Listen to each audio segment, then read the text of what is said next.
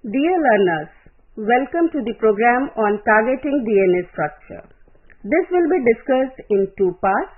Part 1 Targeting DNA structure deals with salient features of double-stranded DNA, various unusual forms like triplex and quadruplex, and the significance of telomere in cell division and cell death. Second part, targeting DNA structure, a therapeutic approach, deals with various experiments. So, let us start with DNA structure. DNA is full from is deoxyribonucleic acid DNA. There is another type of nucleic acid we call ribonucleic acid. Again, I will give little bit structural aspect of that. These are double helix. Double helix means you have seen the spiral you know staircase. It looks exactly like that, but there is a directionality. So basically, they code for genetic information. What I mean genetic information? There are some information which we get from our parents and some information is passed from generation to generation. So, DNA is the key part of the body which basically uh, contain this kind of information which has to be passed from one generation to another generation. To give an idea of dimension how much it is, how big it is, it is basically very teeny small thread kind of stuff. The diameter is 20 angstrom and there are alphabets like A, B, C, whatever you did, there are some alphabets, chemical alphabets which basically dictate the information of heredity within the DNA and there are four type of alphabets and total number of letters in human genome is 3 into 10 to the power 9 base pair.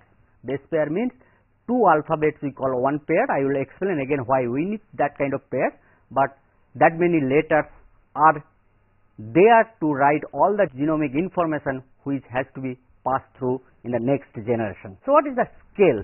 You know, if you think any chemical bond like water, the structure is H2O. There is a chemical bond between hydrogen and oxygen. Typically, this length of a bond is 1 angstrom. Then come to the amino acid.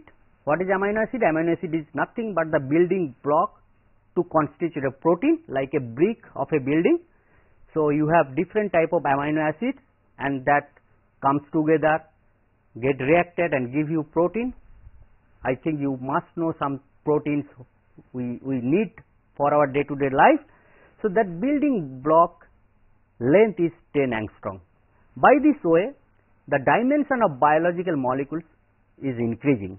So, globular protein one standard protein it is another order or more in, in dimension which is 100 angstrom. So, in the right hand side I am giving in the same scale in the meter minus 10 to the power 10 meter to chromosome DNA whatever the molecules I am talking about they are inside with, with our body. There is a known as cell. Inside of a cell there is a nucleus where this DNA in terms of the chromosome.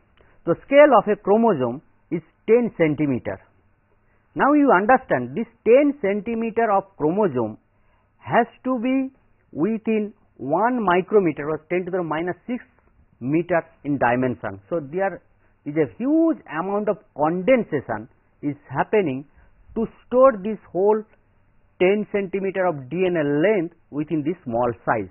So, it is a closely packed. So, what are the bases? Again little bit chemistry. There are three parts. One part is purine or pyrimidine these are heterocycle which basically bond with another type of base and generate this kind of genetic code. Like say if I write ABCD like that you will not understand anything out of it. But if I write a word W O R D the placement of letter one after that gives a meaning. So, in the similar way these bases are arranged such a way that each and every arrangement has some meaning. Now, anybody cannot you know read English, so you have to train them and you have to give the meaning of each and every word. Similar way, we have to learn how to read this basis to understand what has been written. That is called you know human genomics. So, we read base by base by base, then there is a logic to understand what is the meaning if base A, B, C is coming together, if there is a gap and so on. So, by that way we are try to understand the genomic information which is encoded within our body in DNA like that. So, it has three part one is a purine pyrimidine then a, there is a part which is basically sugar molecule ribose and there is a inorganic part which is phosphate. These bases what I am showing they basically interact with the counterpart. Then the phosphate which I was talking they basically connect to each other to create the length of the DNA or the extent of the DNA basically to repeat A, B, C we need a like you know, when we are writing like a Hindi script we need a need a you know line top of the word this is nothing but the line okay to keep them aligned. So, phosphate group basically they are stitching to each other bases. So, in between there is a sugar molecule ribose molecule. Now, there are two types of ribose in one case I will have one molecule here OH. So, this is ribonucleic acid ribose molecule if I remove OH that is deoxy. So, in case of DNA this OH is absent. So, as I told you these bases basically recognize the opposite base. We have four alphabet guanine, cytosine, adenine and thymine. These whole four bases basically dictate the you know novel which is written inside our body within this only four using the only these four bases. Now, arranging this base gives different kind of information. Now, G basically recognize C with forming the hydrogen bond Hydrogen bond basically is a chemical bond, it is a non-covalent bond, it is very low cost effective. In all this time what nature does basically they creates or they uses bondage which is very easy to break and easy to create. So, that you do not need to spend huge amount of energy either to create something or destroy something. Now, this creating and destroying you need always release some energy or absorbing that energy and by that way biology generates signal which basically recognized by other you know system that yes there is a signal I have to be functional right now. So, this hydrogen bond basically is holding together two strand of DNA as I told you DNA is a double helix and one after one base is complementary to each other G is complementary to C, A is complementary to T and they are forming double helix DNA. So, this is more chemically shown. So, if you go back 12 standard you know chemistry knowledge the hydrogen if is attached to a electronegative element it has a tendency to form hydrogen bond with a another electronegative element. So, using that principle all the bases within DNA is getting you know interacting with the counterpart of the other part of the DNA. So, again this is another you know understanding. So, I have told that how single stranded DNA is built up there is a unit one unit interact with the second unit like that it can grow make a polymer.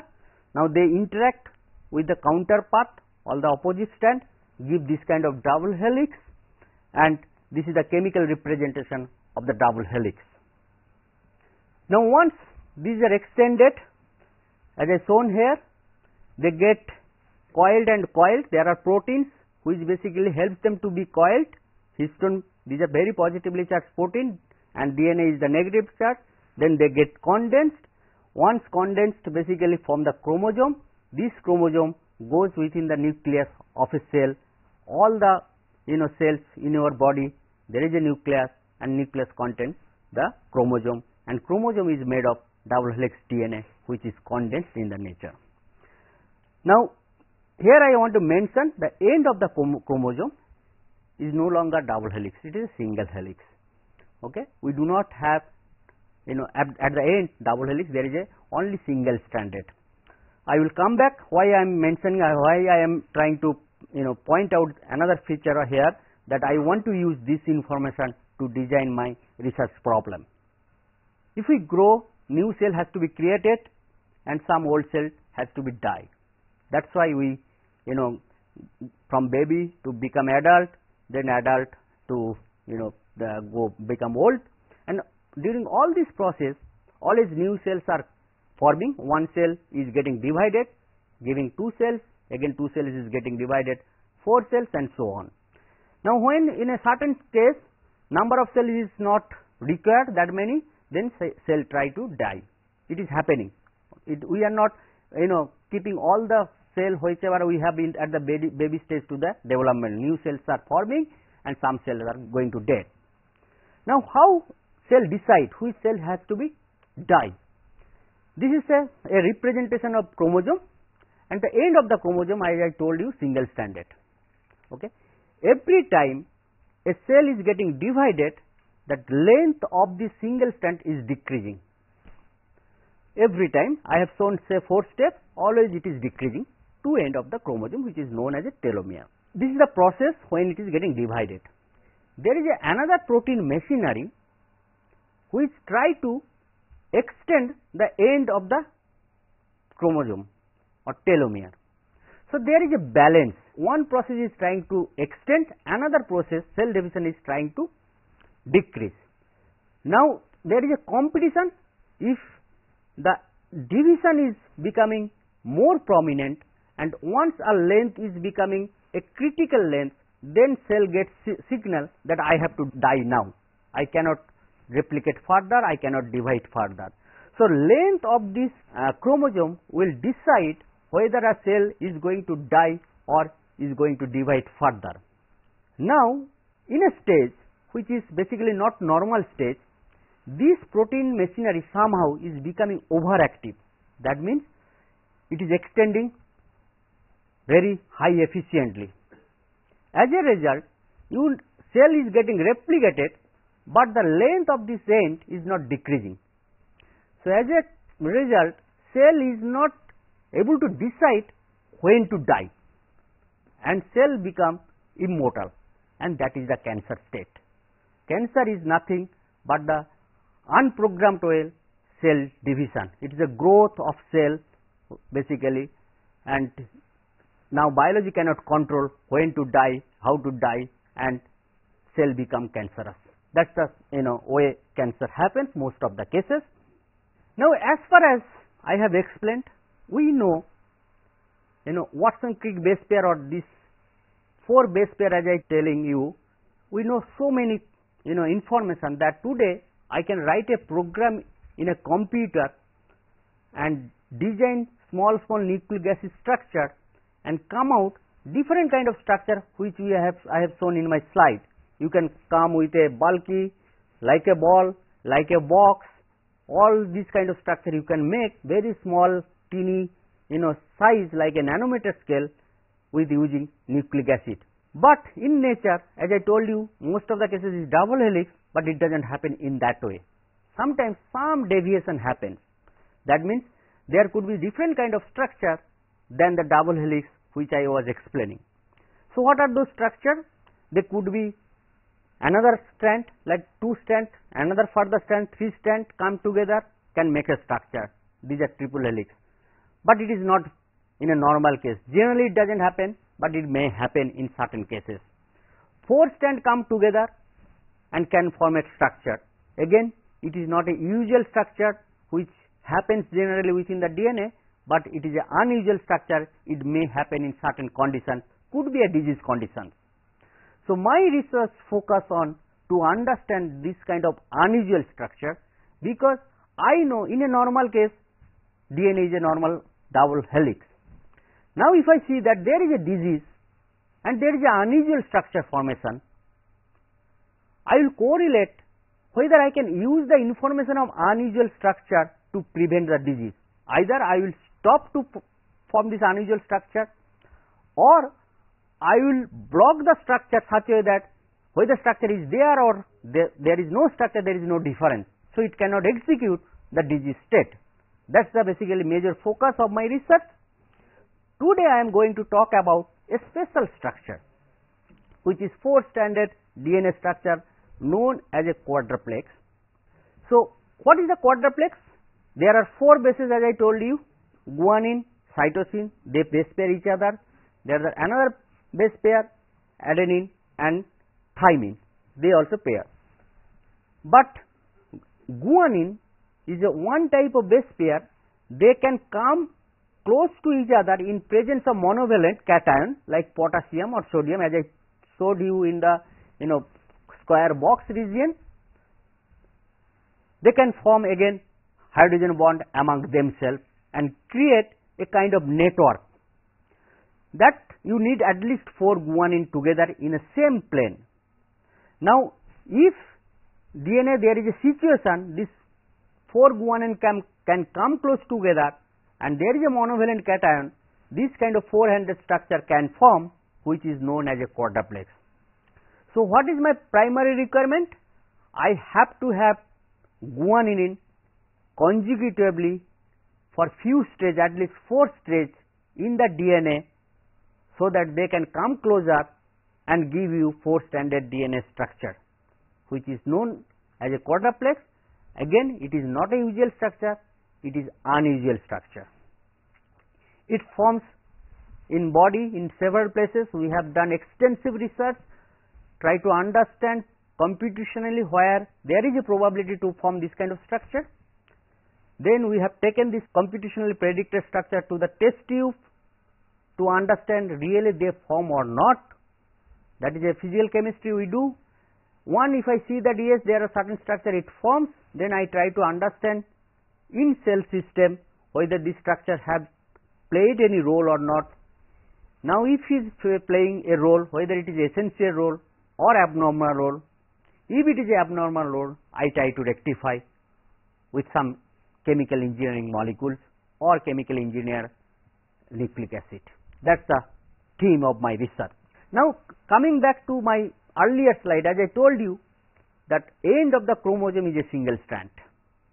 Now, if you try to read the letter by letter, letter by letter of this end of the chromosome, you will see that you get G, G, G AAT, GGG, AAT kind of repeat.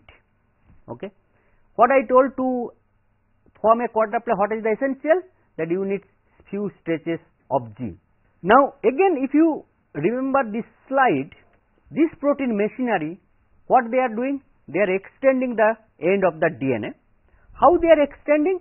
The protein is coming and recognizing the single stranded structure, first binding then doing some synthesis and extending. Now, if I have a G rich region and if I somehow stimulate or can give some condition this single stranded structure is not more any more single stranded structure. It can form some different kind of structure. In that case, this protein machinery will not be able to bind to the single stranded structure and cannot extend the length of the telomere end.